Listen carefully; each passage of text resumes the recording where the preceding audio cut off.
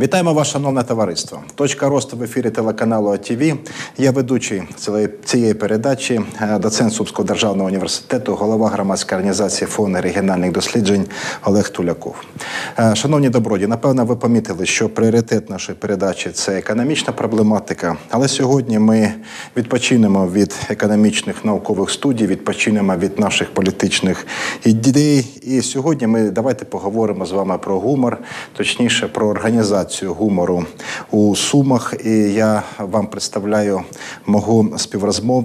співрозмовника. Це стендап-комік, організатор стендап-концертів у Сумах Фелікс Редька. Доброго дня, Фелікс. Здравствуйте. Здравствуйте. Я би хотів спочатку пояснити причину, чому я запросив тебе. Справа в тім, що ми у цій студії на наших заходах намагаємося пояснити українському народу, що йому треба робити для того, щоб жити щасливо. І ну, е, ну я мушу визнати, що у вас це можливо вийде краще, ніж у нас, оскільки гумор доходить е, Быстрее, да, да, значно швидше. От ви займаєтесь стендапом доволі таким специфічним видом е, видом гумору. Тому я думаю, що буде правильно, якщо ви спочатку розкажете розкажете нашим глядачам, що це за що це за вид діяльності стендап. Да, стендап это юмористический жанр, когда один комик выходит на сцену и рассказывает шутки. В основном эти шутки взяты из своей собственной жизни, своего собственного жизненного опыта. Э, у нас на постсоветском пространстве, в том числе на Украине, он очень недавно появился. В Украине, наверное, ну, пять лет назад был создан первый стендап-клуб. То есть, насколько мало, пять всего лишь лет. Э, хотя в той же Америке или в Англии, где ну, это родоначальники этого жанра, жанр существует уже там 100 сто лет точно. Э, начался он э, с очень забавного такого как бы не случай, я даже не знаю, как это случай назвать правильно, не случай. В общем, раньше перед концертами разными, там, театральными или же музыкальными, э, был всегда занавес. Кто смотрел стендап, те знают, что всегда стендап-комик выступает на занавесе. Ну, часто это как традиция такая. И, и получается, перед тем, как люди собирались в зале, выходил какой-то скоморох, конферансье, который просто развлекал людей, что-то им рассказывал, что-то у них спрашивал, как-то представлял артистов. И дошло э, до смешного, что в какой-то момент люди начали приходить уже не на концерт, там, трупы театральные или музыкального какого-то э, оркестра, а вот на этого конферансье, потому что всем было интересно, весело смотреть, как он шутит. Понемногу эти конферансье стали отделяться, делать свои собственные концерты. И вот в послевоенное время с приходом телевидения э, стендап в Америке пошел на ТВ, и после этого там прям разрослась целая индустрия, огромное количество комиков, это Эдди Мерфи, э, там э, Робби Уильямс э, и так далее, и так далее. Хью Лори из сериала «Доктор Хаус». Это все стендап-комики. Как у нас КВН, люди из КВН выходят там режиссеры, актеры, сценаристы. Вот у них из стендапа люди тоже идут в кино, в юмор, там, в литературу и так далее, и так далее. Угу. Ну, я... Э я грав у студентському театрі, самодіяльному театрі. Він мені дав дуже багато. Я дуже вдячний е, за той експірієнс, який був. Я був організатором і адміністратором, скажімо так, команди КВН Банківської академії. Я знаю, наскільки це важко. І коли я дізнався, що в Сумах з'явився стендап, я прийшов на ваш концерт. До речі, отримав ну просто колосальне задоволення, колосальніше задоволення, бо там от вам вдалося взяти в стендапі його сутність, говорити про себе, ось говорити про себе, е, не говорити про про як, якогось абстрактного героя, да, а ось говорити про свої переживання і. Е, Ну, Хочеться спитати, як вам це вдалося? Як вам це вдалося цей пласт підняти? Ви ж студент, да? Та, тобто да. ви людина, яка за четвертий курс Сумського державного університету, яка зайнята, да? у якійсь такі ж тим не менше, ви підняли ось таку тему. Як це вдалося? А, да, на самом деле история очень простая, как и все, наверное, те, кто сейчас, ну, большинство, скажем так, 90% людей, которые так или иначе занимаются стендапом в Украине, это э, люди, которые раньше занимались КВНом, потому что вот там буквально 5-10 лет назад наверное, кроме КВН, э, вообще ну, навряд ли как-то можно было войти в юмористическую тусовку. А потом в какой-то момент ну, случились у нас события в стране, да, началась э, война, и КВН прекратил свое существование в таком виде, в котором он был раньше. То есть раньше была, допустим, высшая украинская лига, которую вел Александр Васильевич Масляков, который все знают, и все украинские КВНщики стремились в эту лигу, э, единственную телевизионную лигу КВН в Украине. А потом это все пропало, и еще Лига смеха, которую мы сейчас знаем, не появилась. И образовался такой вакуум в год-полтора, когда КВНщики не знали, куда себя деть. И вот э, я увидел, что мои коллеги из Киева, которые более старшие, они делают какой-то, какой-то стендап. Какой-то стендап. Что это такое, вообще не знал. Э, Я там буквально в Википедии первую страничку прочитал, посмотрел первых три видео в Ютубе и подумал, классно, надо что-то делать. Зимние каникулы как раз. Мы нашли маленькую кафешку, там на 80 человек, напечатали на принтере билеты, продали своим друзьям, организовались там командой, выступили. Э, И нам так понравилась сама суть того, что ты там, допустим, не как команда КВН, там 8 человек на сцене, кто-то один одно слово говорит, а кто-то больше слов, а что вот целых там 5-7 минут это твое время на сцене, и ты можешь делиться с людьми э, своими мыслями. Нам так это понравилось, и мы подумали, а почему бы это не продолжать, и продолжаем по сей день. Ну от я згадую, от е, е, е, з- цей свій досвід е, важко. Приходять на репетицію, не завжди ж було є налаштування на творчість. Конечно, Е, да, Приходять само люди на репетицію, вони ось розчавлені тим, за що відбулося за день. На налаштувати людей і себе налаштувати на Конечно, якийсь да. творчий процес. Шутки, е, жарти придумувати теж дуже важко. Е, Їх брати з життя, це писати сценарій важко, постановка це важко. І е, я тобі скажу, я і був і директором інституту, я був і доцентом кафедри, там і гра- е, громадська організація. У мене такий е, цікавий досвід роботи. І оцей досвід адміністратора команди КВН саме важкий в проф- у кар'єрі. саме а, вс- важкий. Всегда очень сложно, это прям как тезис, всегда очень сложно организовывать людей, когда ты им не платишь деньги. Да, это да. самое первое. То есть, когда это самодеятельность, когда каждый может сказать, да я пошел с девочкой погуляю, или я там пойду, у меня сегодня голова болит, или меня мама наругала, надо дома сидеть, там, если это школьный КВН. Это всегда очень сложно, когда у тебя нет рычагов управления на людей, заставить их приходить. И у нас в Сумах так и получилось. То есть у нас были сумские комики, и мы там буквально 3-4 концерта дали, все были на энтузиазме, а потом в какой-то момент все перестали писать шутки, и у нас все хуже и хуже шли концерты.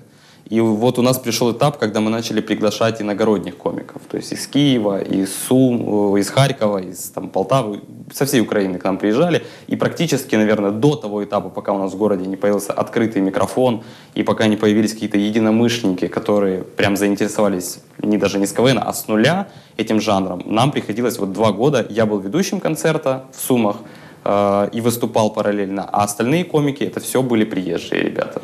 Но благо сейчас ситуация немного изменилась. Ну, от щодо тебе, я би хотів висловити слова такі подяки і підтримки.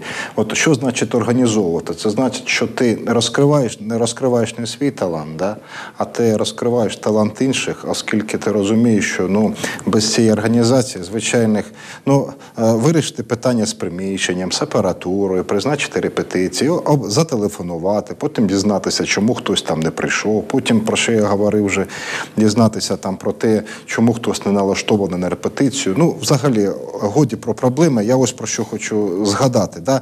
Я ще тоді, ще в 90-х, ще в 90-х загадувався, що якщо із жартами, які чіпляють за душу людину, вийти у звичайний ресторан, та, от, нічний клуб, взяти мікрофон, і ось там жарт, ось от, він перспективний. Я це відчував, я добре це відчував. Я не знав, що є стендап там на заході. Ну да, в то время вообще невозможно было, наверное, где-то посмотреть, э, потому что тогда были только англоязычные и выступления, то есть там комиков, которые там на Netflix выходят и так далее, и так далее. Я, говорю, я думаю, тогда из э, жанра э, сольного юмористического выступления были примеры только вот эстрадных комиков, таких как там Жванецкий, Карцев и так далее. А такого прям на злобу дня, наверное, да. А от е, в якому зараз форматі відбувається діяльність? Що, А в плане, где мы выступаем, А, да? Ну, де, як? От що таке сумський стендап зараз, ось на сьогоднішній день? А, да, и я продолжу, как раз мы так красной линией идем. А, потом в какой-то момент, спустя там два года, когда мы приглашали только иногородних комиков, а, мы поняли, что это, я точнее понял, потому что, ну вот, э, организовывал это все, что это не очень перспективный э, формат деятельности, потому что, вот, как вы правильно сказали, ты развиваешь не свой талант, а чей-то чужой. А, а мотивации развивать чей-то чужой талант, который еще, допустим, не в твоем городе и не твой друг, а просто алло, там, здравствуйте, вас зовут так-то, так-то, можете приехать, вообще не понравилось. И у нас появился открытый микрофон. Это вот такой тоже формат стендапа в Америке, он тоже очень популярен в каждом баре, каждый день. Э, Там, грубо говоря, приходит 15 комиков, из которых 14 это новички и один опытный. И вот они там в формате трех минут проверяют свои новые шутки. Кто-то из них там вообще городской сумасшедший и что попало говорит, а кто-то там плюс-минус талантливый. У нас тоже мы вот решили, а почему нет? Сделали открытый микрофон, вход свободный, прийти может кто угодно, и по сей день он проходит. И к нам начали приходить ребята, которые просто там где-то видели стендап в Ютубе, а да и я выступлю три минуты. И вот из этих ребят мы уже начали отбирать свою команду из э, сумских ребят, и у нас так сформировался, сейчас этот проект называется «Стендап-вечер», а, И мы регулярно каждый месяц э, даем концерты уже не только в городе Сума, в разных городах Украины. Вот, допустим, в этом месяце у нас 6 концертов. Это Чернигов, Полтава, Харьков, Сумы, э, Киев, Сумы дважды. Вот. То есть в таком формате мы работаем. Мы уже набрали своих ребят, единомышленников, которые с нами совпадают и по возрасту, и вообще по каким-то ну, вот, социальным... Сложно всегда, вот, допустим, к нам приезжали ребята, которым по 30 лет. У них уже свои работы в Киеве. Сложно с ним стать другом, когда у него вот своя жизнь. А когда ты находишь, допустим, такого же студента, который интересуется тем же делом, что и ты, и он, допустим, готов жертвовать какими-то вот вопросами в плане там свободного времени, э, то легче. Вот сейчас у нас э, такой формат работы, когда у нас свои ребята и свои концерты. Тобто я просто уточню, що правильно я зрозумів. Є група коміків, наших Да. сумських коміків, так? Да, есть, и есть ребята из других городов тоже, но они тоже вот молодые, и, то есть одного возраста с нами, которых мы просто вот тоже приехали там в Харьков на открытый микрофон. О, классно, давай познакомимся. Познакомились, и вот так вот к нам примкнули ребята.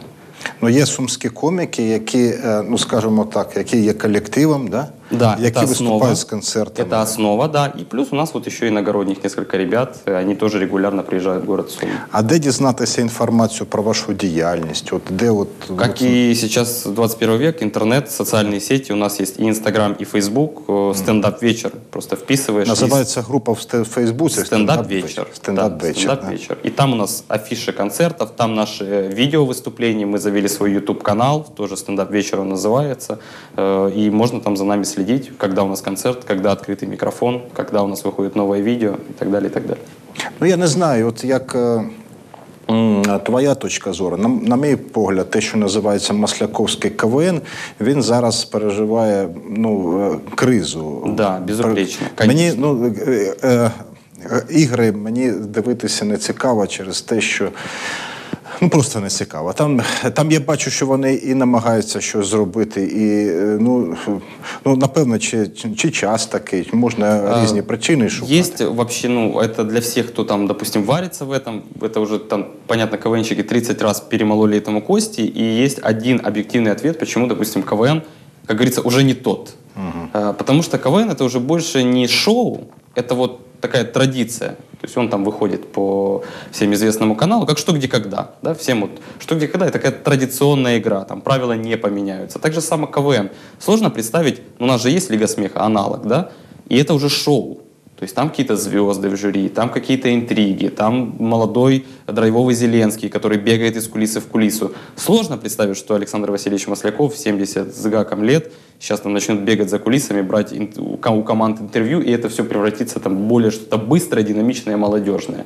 Э, Плюс если раньше КВН это был единственный социальный лифт в плане юмора, то есть там, ты хочешь стать сценаристом или актером на ТВ комедийного жанра, куда тебе идти? Ты идешь в КВН, тебя там увидели, тебя там взяли в передачу. То сейчас, допустим, есть канал ТНТ, который проводит и Comedy Battle, и открытый микрофон. Есть тот же самый YouTube как площадка, где ты можешь просто сам выкладывать свои видео, и мы знаем кучу примеров людей, которые стали популярными комедийными артистами в интернете. А, И отток идет молодежи, которая раньше, допустим, рвалась играть в КВН. Сейчас много куда можно пойти. Поэтому и кадры, как говорится, решают все, кадров там становится меньше. Ну и сама программа, она просто ну, не может стать моложе. Вот она такая, какая она есть. Это как традиция. Я ще би хотів повернутися до тої тези, з якої розпочав передачу. Я новини не дивлюсь. Я навіть не дивлюсь, не слухаю оцих нудних наших українських аналітиків, які там сидять умнічають. Бо скільки для ну це все потребує такого аналізу, відсіювання. Е, От, от за це заплатили. Ось оце він говорить, тому що тому що він змушений говорити. Така купа хотя бы причин. просто проверить ту информацию, это уже время. Ну да, така скупа причинно-наслідкових зв'язків. А ось коли я подивлюсь виступ гарного коміка, мені як скан, мені все, що відбувається в суспільстві, мені чітко зрозуміло. Не Чітко. Я там не люблю там 95-й квартал, але судять про те, що в Україні е, через ось виступи 95-го кварталу і обговорюють там, що, що, Да, про ні. що там говорять. Чи та ж там Ліга сміха.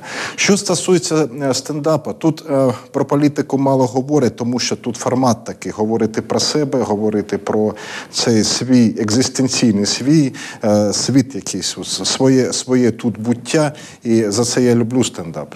За це от, ну, Ну, э, и то есть, э, почему мы не говорим про политику стендап-комики? Ну, понятно, что некоторые говорят. Э, Вопрос больше к тому, что стендап вообще как культура комедийная появилась наверное, в Украине, понятно, что не во многом, но некоторые себя даже так клубы позиционируют как антитеза 95-му кварталу. То есть 95-й квартал — это продукт массового потребления, а стендап-комики — это как бы андеграунд. Вот мы появились новые, свежие. И многие отказываются от темы политики, комики, по той причине, что ну а сколько уже можно об этом шутить?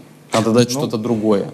Даже вот э, по этой причине э, политика в украинском стендапе не очень актуальная тема. Ну добре, ну давай візьмемо з тобою відомих стендап-коміків, там Юлію Ахметову, там Руслана Білова. Там я сподіваюся, ніхто там мене зараз не звинувачує в антипатріотизмі. Вони ж теж е, Ну, політику. они никакого отношения, кстати, не имеют к какой-то Ну да, контенту взагалі всього. пропаганде. Поэтому Каргінова того ж самого, Комісаренка, да? вони ж теж про політику не говорять. Вони говорять про що? От е, я йшов, зі мною відбулося те, то-то, то я, и вот я про это пошучу. Да, да. Про свого діда, про свою тещу, про, про дитину, про дитячий садочок, про свій двір. Там. От, і, і, і це приваблює, це заворожує просто. Екзистенційний світ, конкретний світ. А особенно, особенно если ты узнал себя в этом человеке, что, а, вот у меня точно так же, ты еще, наверное, как зритель находишь вот этот «я такой не один», и тебе еще приятнее от этого. Про відчима.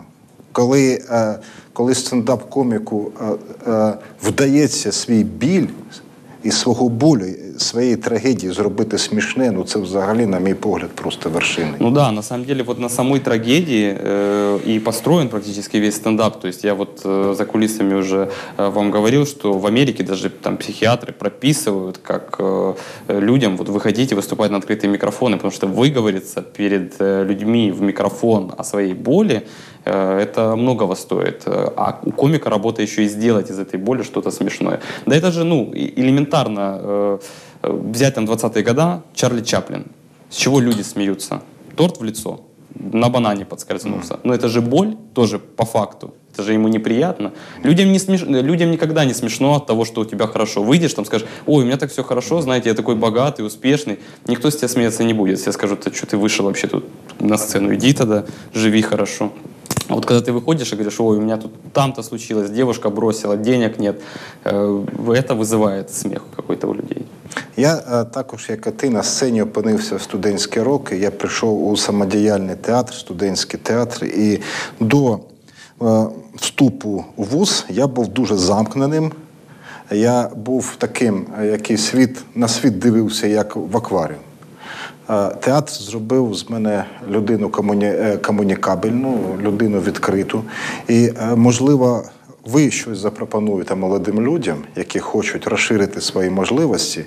От, чи можна до вас там прийти, спробувати себе? От, чи є у вас такі от можливості, щоб от прийшли люди? Конечно, конечно, мы очень открытое объединение. Э, В принципе, как, наверное, и любое стендап-объединение, у нас нет такого, что вот все, мы набрали там пять человек, и на этом мы заканчиваем.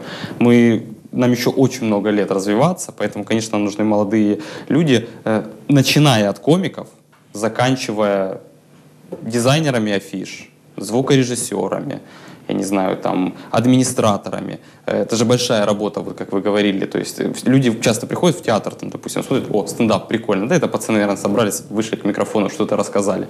А то, что там элементарно надо было напечатать афиши, отвести, поклеить, там, я не знаю, договориться за водичку, чтобы она стояла у комика в гримерке. А, Но в первую очередь, конечно же, нам нужны молодые творческие люди, и у нас каждый вторник проходит открытый микрофон, записаться может кто угодно, э, и информацию всю можно найти в наших социальных сетях, в Фейсбуке стендап вечер или в Инстаграме стендап вечер. Пожалуйста, в Сумах это недалеко, сел на маршрутку, приехал. Э, Там пускай не боятся, это не огромное количество зрителей, там сидит небольшой бар, 20 человек. Э, Если даже и плохо выступишь, об этом много кто не узнает. Пойдешь домой плакать. Ну, я так скажу, що тут ще така проблематика. А у нас е, м, треба ну, наповнювати якось е, змістом нашу е, ну, час, е, який відбувається в ресторанах і в кафе. Ну, от нам хочеться десь вечір провести, да, от приємно, правильно, відпочити. Ми Конечно, приходимо в ресторан, в кафе. Ну, в Сумах це, з цим немає проблем. Ну, поїли там, ну, поговорили з кимось там. Про що ми можемо поговорити з людиною, яку давно знаємо, про якісь банальності. Да? От. А що е, ще б щось хотілося почути, дізнатися. І, на мій погляд, стендап це якраз та той вид активності, який був би дуже би цікавим, і він є перспективний. Я в цю бажаю перспективу.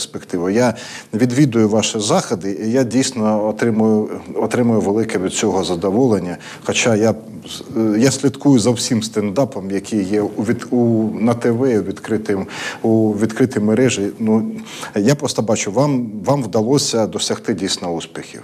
У вас е, рівень е, пристойний. Ну, да, какой-то вот определенный есть, я же говорю, и мы всегда идем навстречу. Это правильная мысль, что у нас в Украине должно быть более популяризировано в каких-то а, сферах, а, ну, вот тех же самых там ресторанах, допустим, если взять Америку, очень сложно в Америке, допустим, там, я не знаю, в выходной день не найти стендап. Там практически, ну, я не знаю, мне рассказывали, по крайней мере, я, может быть, не прав, но мне рассказывали, что ты ходишь, э, там, 20 метров пройдешь, афиша стендапа, 20 метров пройдешь. У них дошло до того, э, у нас, к сожалению, этого в Украине нет, и я думаю, что должно там в перспективе 50 лет появиться, у них дошло до того, что там есть comedy, ну, вот comedy club, да, что мы слышим, слышим и сразу вспоминаем э, э, передачу, которая есть, юмористическая. Но Comedy Club — это у них прям как форма развлечения. У них в каждом городе может быть 30 комедийных клубов. Комедийный клуб полностью закрытый под юмор. То есть ты туда можешь прийти в 4 часа на стендап, 6 часов на стендап, в 8. Там даже есть э, сеты комедийные, это так называется, в час ночи.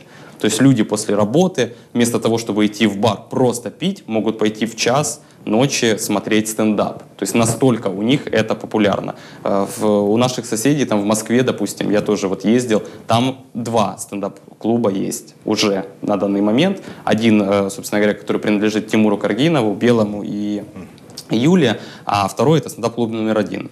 Он чуть более старший. У нас в Украине, к сожалению, нет заведения, в котором с утра до вечера был бы только стендап. Э, Ну, я же говорю, это все со временем. То есть 5-10 лет, и должен появиться инвестор, какие-то очень популярные все украинские комики, и тогда это тоже у нас появится. Дякуємо. Дякуємо, Феліксе, за дуже цікаву розмову. Завжди раді е, бачити вас у цій студії. Якщо є щось обговорити, то е, приходьте на нашу передачу. Шановне товариство, сьогодні нашим співрозмовником був е, стендап-комік, організатор стендап-концертів у місті Суми Фелікс Редька. Ми сьогодні говорили про гумор, говорили про специфічний гумор, таку форму, як стендап. Ми запрошуємо всіх вас на е, стендап-концерти у Сумах. Е, Цікавтесь е, інформацією, яка розміщена у Фейсбуці та Інстаграмі під назвою Стендап вечір. Запрошуємо всіх молодих людей, які хочуть спробувати себе як стендап-коміки на участь у проєкті Відкритий мікрофон. Ми сподіваємося, що вам було з нами цікаво. До нових зустрічей на телеканалі АТВ. До побачення.